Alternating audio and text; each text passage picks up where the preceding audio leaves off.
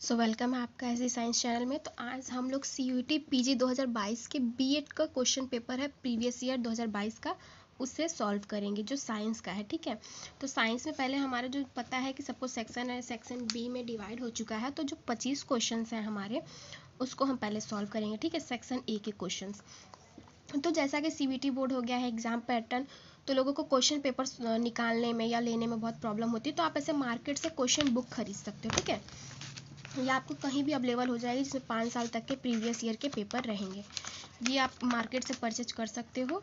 तो ये 2022 का पेपर है, जो कि ओरिजिनल पेपर ही रहता है। ठीक है, आप ले सकते हो, कोई डाउट नहीं है। तो हम पहले हिंदी के क्वेश्चन सॉल्व करेंगे, ठीक है? एक नए तरीके से। तो आप चलिए पढ़ते हैं पहला क्वेश्चन तो पहला क्वेश्चन है, निम्न में से कौन सा वर्ण व्यंजन नहीं है? निम्न में से कौन सा वर्ण व्यंजन नहीं है? तो ग, थ, ए, भ। तो ये सब हमारे व्यंजन है, लेकिन ए जो है, वो हमारा वर्ण व्यंजन नहीं है, ठीक है? तो ये हमारा करेक्ट आंसर है। नेक्स्ट क्वेश्चन हमारा बोला है कि नीचे दो कथन दिए गए हैं। बीएड में ऐसा होता है बीएड के एंट्रेंस एग्ज़ाम में कि कथन ज़्यादा दिए जाते हैं कि दो कथन है, इसमें से बताइए कौन सही है कौन गलत है। तो दो कथन दिए, पहला कथन दिया है कि वाक्य भाषा की ऐसी इकाई है जो किसी भाव या विचार को व्यक्त करता है। दूसरा कथन दिया हुआ वाक्य के भेद तीन अक्षरों पर किए जाते हैं। रचना के आधार पर, शब्द के आधार पर तथा अर्थ के आधार पर। तो वाक्य के तीन भेद हैं, लेकिन ये इस आधार पर नहीं किए जाते हैं। तो ये शायद गलत होगा और ये सही होगा। तो हमें ये हमारे ऑप्शंस में खोजना है। तो कथन ए और दो दोनों सही है। कथन ए और दोनों गलत है। कथन ए सही है, लेकिन कथन दो गलत है। कथन ए गलत है। तो ये हमारा सी सही होगा, कथन ए सही है और कथन दो गलत है। ठीक है? नेक्स्ट क्वेश्चन है यह लोक का विलोम बताइए। तो विलोम शब्द भी देखिए, पूछा यह लोक का विलोम बताइए। तो यह लोक का विलोम होता है परलोक, ठीक है? ये हमारा करेक्ट आंसर है, परलोक। नेक्स्ट क्वेश्चन है, निम्नलिखित में से कौन सा शब्द वर्तनी की दृष्टि से शुद्ध है? वर्तनी की दृष्टि से हमें शुद्ध बताना है, ठीक है? तो इसमें हमारा जो करेक्ट आंसर होगा, ज्योत्सना, ज्योत्सा, ज्योत्सना जो ये बी करेक्ट आंसर है, ज्योत्सा। नेक्स्ट क्वेश्चन है, कुल का समानार्थी शब्द कौन सा शब्द है? ठीक है, कुल तो हम जानते ही हैं कुल किसको बोलते हैं? जो वंश को बढ़ावा देता है तो वंश। तो समानार्थी का मतलब होता है उसी के जैसा सेम ठीक है तो वंश। क्योंकि हम ये बोलते हैं ना, हमारे कुल का है, कुल बढ़ाएगा, हमारे वंश को बढ़ाएगा तो यही होता है। नेक्स्ट क्वेश्चन है, जो आँखों के सामने हो का एक शब्द कौन सा है? मतलब अनेक शब्द के एक शब्द बताने हैं, ठीक है? एक शब्द का अनेक शब्द होता ना। अप्रत्यक्ष, परोक्ष, प्रत्यक्ष, सर्वज्ञ। तो बोल रहा है, जो आँखों के सामने हो तो जो आँखों के सामने वो प्रत्यक्ष है। ठीक है? ये करेक्ट आंसर है। नेक्स्ट है, उंगलियों पर नचाना मुहावरे का सही अर्थ कौन सा है? उंगलियों पर नचाना मुहावरे का सही अर्थ कौन सा है? तो आँखों पर नचाना उंगलियों पर नचाना सॉरी उंगलियों पर नचाना परेशान करना, इशारा करना, वश में करना, शोषण करना। तो उंगलियों पे मतलब इशारों पे ऐसे नचाना, ठीक है? तो वश में करना। ये करेक्ट आंसर है। नेक्स्ट क्वेश्चन है, निम्नलिखित में से शुद्ध वाक्य का चयन करिए। देखिए, चार ऑप्शंस दिए हैं, इसमें हमें शुद्ध वाक्य निकालना है। तो बच्चों से क्रोध मत करो। बच्चों पर क्रोध मत करो। बच्चों से ही क्रोध करो। बच्चों से क्रोध नहीं करो। तो शुद्ध क्या है? कि बच्चों पर क्रोध मत करो, ठीक है? बच्चों से ही क्रोध नहीं अलग गलत है, कोई सेंटेंस नहीं हो रहा है। तो बच्चों पर क्रोध मत करो। तो ये हमारा क्या है? करेक्ट आंसर है। ठीक है नेक्स्ट देख लेते हैं हम लोग। नेक्स्ट है कि निम्न में से तस्तम शब्द नहीं है। देखिए, नहीं बोल दिया ना? तो ये मत सोचिएगा कि ये पूछ रहा है कि तस्तम शब्द कौन सा है। इसको भी ध्यान में रखिएगा कि लास्ट में क्या बोल रहा है। निम्न में से तस्तम शब्द नहीं है। हमें ये खोजना जो तस्तम नहीं है। तद्भव तस्तम आप संस्कृत में पढ़े ही होंगे, ठीक है? तद्भव तस्थम। तो काश से बंदूक, खंडहर, निर्झर। तो इसमें तस्तम क्या नहीं है, खंडहर नहीं है, ठीक है? ये हमारा करेक्ट आंसर होगा। नेक्स्ट है, फिर पूछ रहा है भाई, निम्नलिखित में से कौन सा कथन सही नहीं है? इसमें भी यही पूछ रहा है, सही नहीं है तो नहीं को हमेशा देखिएगा। अक्सर लोग यही गलती करते हैं कि सही है, पढ़ लेंगे, इसको उतना नहीं ध्यान देंगे। तो क्या है? ऑप्शन हमारे क्या है? हिंदी में सभी विशेषणों का प्रयोग संज्ञाओं के सामने होता है। विशेषणों के परोक्ष रूप से लिंग, वचन और कारक होते हैं। विशेषणों के मुख्य चार भेद किए गए हैं। सार्वनामिक विशेषण के दो मूल यौगिक हैं। तो विशेषण के चार भेद किए गए हैं। ये गलत है, ठीक है? तो ये हमारा करेक्ट ऑप्शन होगा। ये गलत है, पर ये हमारा आंसर करेक्ट होगा। ये इंग्लिश सेक्शन है लैंग्वेज का, ठीक है? तो जिसको इंग्लिश भी सॉल्व कराना है, वो कमेंट करके बताएगा, क्योंकि अभी तो मैं नहीं करा रही, अभी आगे बढ़ते हैं क्वेश्चन में, ठीक है? अब हम इलेवेंथ क्वेश्चन देखते हैं। इलेवेंथ क्वेश्चन है कि who have been appointed as the new chief economic adviser C A to the government of India देखिए बाई लैंग्वेज है, जो यूपी बोर्ड के बच्चे हैं, उनके लिए भी हिंदी में है, जो सीबीएसई बोर्ड के उनके लिए इंग्लिश में, ठीक है? बाई लैंग्वेज आपको मिल जाएगा क्वेश्चन बुकलेट मार्केट से तो ज़रूर खरीदें और सॉल्व करें। ठीक है तो हिंदी में है, निम्न में से कौन सा भारत? पता नहीं क्या नए मुख्य आर्थिक सलाहकार सीए के रूप में नियुक्त हुए हैं, ठीक है? भारत सरकार लिखा हुआ है, सर। ठीक है तो कौन है हुआ है? ये जो हमारे, क्या? वी. अनंत नागेश्वरन ये हुए हैं, ठीक है? ये हमारा करेक्ट आंसर है।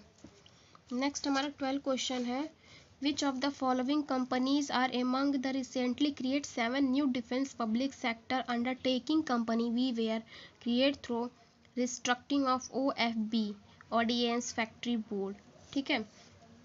तो ऐसा कौन सा? हिंदी में भी देख लेते हैं क्वेश्चन हिंदी में दिया है कि निम्नलिखित में से कौन सी कंपनियाँ हाल ही में सात नई सार्वजनिक रक्षा उपक्रम कंपनियाँ स्थापित की हैं, जिसे आयुध निर्माण बोर्ड की पुनर्संरचना करने के माध्यम से स्थापित किया गया है। ठीक है? तो कौन कौन सी ये सात नई कंपनियाँ, इसमें चार ऑप्शंस दिए हैं। एक पहला था इधर आप देखे थे वेपन इंडिया लिमिटेड दूसरा दिया है मुनिशन इंडिया लिमिटेड यात्रा, यंत्रा। ठीक है? यंत्र इंडिया लिमिटेड और तीसरा है ग्लाइडर इंडिया लिमिटेड तो इसमें से कौन कौन सा दिया हुआ है? तो बी सी डी ये हमारा डी ऑप्शन इसमें करेक्ट होगा। ठीक है? देखिए, एक आत्मकथा से क्वेश्चन पूछ दिया है। Name of the autobiography of Kamala Das is तो कमला दास की आत्मकथा का क्या नाम था? तो कमला दास की आत्मकथा का नाम था माई स्टोरी वैसे सबको पता होगा। तो ये करेक्ट आंसर है माई स्टोरी ठीक है? नेक्स्ट क्वेश्चन देखिए साइंस से पूछ दिया है। A small organ at the base of the brain that produce substance that affect growth and sexual development hormone is called. तो ऐसा कौन सा इसमें से ग्लैंड है जो कि स्मॉल ऑर्गन है, ठीक है? लेकिन क्या क्या प्रोड्यूस करता है? सेक्सुअल डेवलपमेंट हार्मोन ग्रोथ को इफ़ेक्ट करता है, ठीक है? तो इसमें हमारा होगा pituitary gland and hypothalamus both दोनों होगा, ठीक है? तो ऐसे क्वेश्चंस में अगर आप ऑप्शन लगाते हैं तो ठीक है, नहीं लगाते हैं तो भी जिसमें ऐसा आंसर आता है, उसमें आपको मार्क मिलेगा ही मिलेगा। ठीक है, ये ड्रॉप क्वेश्चन है। जिसमें दो से ज़्यादा अधिक ऑप्शन सही हो जाए, एक से ज़्यादा सही हो जाए, ड्रॉप क्वेश्चन। इसमें नंबर एन टी आपको ज़रूर देगा। ठीक है? नेक्स्ट क्वेश्चन है who among the following is the first women to receive two Nobel prize तो ऐसी कौन सी वुमेन है जो दो नोबेल प्राइज दिया गया है मतलब उन्हें। ठीक है? दो बार नोबेल प्राइज पुरस्कार किया गया है। तो ये मैरी क्यूरी हैं, जिन्हें दो नोबेल पुरस्कार मिला था। ये हमारी मैरी क्यूरी है तो ये हमारा करेक्ट आंसर है। सिक्सटीन क्वेश्चन है in a certain code language. तो कुछ कोड दिया हुआ है, देखते हैं। ठीक है तो देखिए, दिया हुआ है। ऐसा सा अल्फ़ाबेटिकली दे दिया कूट, ठीक है? कोड दे दिया, इसको हिंदी में कूट बोलते हैं। ऐसे से दे दिया और बोला है कि इसका मतलब है वी ग्रेट इंडियन कंट्री इसका मतलब है वी स्कोर गुड हाईएस्ट इसका मतलब है इंडिया स्कोर द हाईएस्ट ठीक है? इसका मतलब है हाईएस्ट ऑफ़ द कंट्री इसमें से हमें करना है क्या? कुछ को जैसे मान के चलना है, ठीक है? किसी किसी से कंट्री के लिए इसमें क्या बोला है? हूँ बोला है। इसमें कंट्री के लिए कुछ और बोल दिया है, ठीक है? इसमें हु दिख ही नहीं रहा, अगर हम मानते हैं एक तरीके से तो। और जैसे का को ले लेते हैं हम। तो का को ले लेते तो यहाँ पे भी वी है तो वी के लिए का है, यहाँ पे वी है तो यहाँ पे भी का है, ठीक है? और कुछ कॉमन सा दिख रहा है जो दोनों में हो और मीन मीन दिया है तो? ला ला है बट दिया नहीं है। तो हाईएस्ट को हम मान लेते हैं, ठीक है? इसमें हाईएस्ट है, इसमें भी हाईएस्ट है, दोनों में ला ला दिया है। ठीक है? ऐसे ऐसे मान के चलना है तो लास्ट में पूछा है ग्रेड का कूट क्या होगा, ठीक है? ग्रेट का कूट क्या होगा? ये पूछा है। और क्या मान लेते हैं हम? कंट्री का ये मान लेते हैं। यू ओ इसमें भी है और कंट्री इसमें भी है तो इसमें भी यू ओ दिया हुआ है, ठीक है? इंडिया का भी देख लीजिए, जैसे इसमें जा दिया हुआ है, यहाँ पे इंडिया है। इसमें भी इंडिया है तो इसमें भी जा दिया हुआ है, ठीक है? इंडिया का भी हमने मान लिया। स्कोर का भी हम मान लेते हैं दोनों में, जैसे जे यू जे यू दिया और स्कोर भी दोनों में कॉमन है तो हम ऐसे ही खोजेंगे, ठीक है? सब हो गया इंडिया हो गया स्कोर हो गया हाईएस्ट भी हमने देख लिया कि हाईएस्ट के लिए भी हमारा क्या है, ठीक है?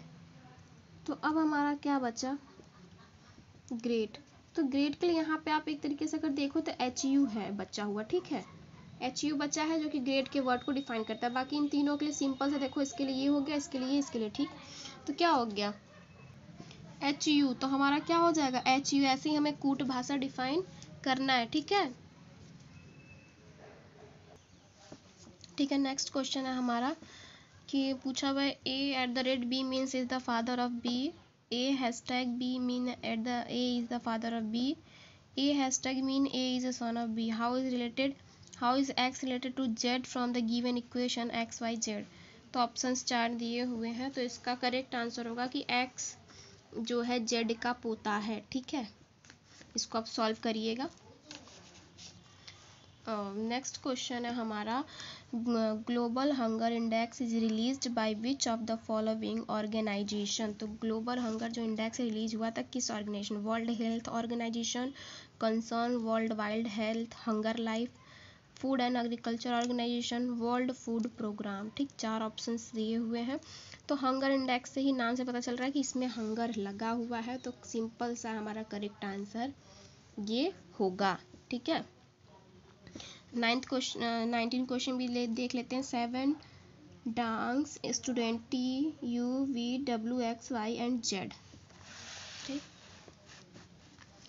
are to given perform and the judge have to decide the sequence in which they will perform each student will perform exactly one item a solo ballot in deciding the order of performance the instruction must have must observe the following restriction ठीक है options दिया हुआ फिर इसमें से हमें करना है सो so, इसका करेक्ट आंसर होगा सिक्स ठीक है ये इसका करेक्ट आंसर होगा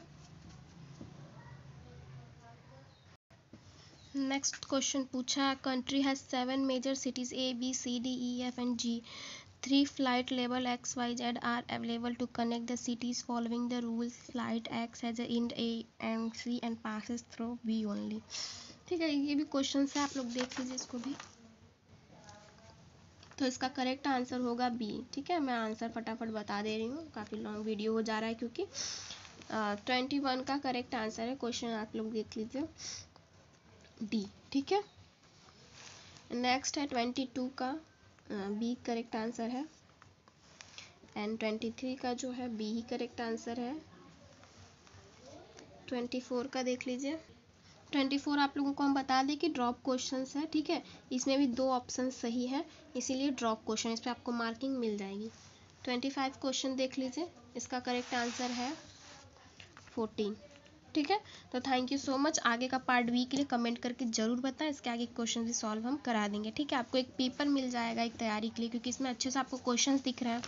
आप नोट भी कर सकते हो अगर आपको नहीं मिल रहे हैं। बस मैं इसलिए वीडियो तैयार की हूँ कि आप लोग जैसा सी पैटर्न होता है तो लोगों को पेपर नहीं मिल पाते हैं, ठीक है? तो इससे आपको ये फ़ायदा होगा कि आपको एक पेपर फॉर्म मिल जाएगा।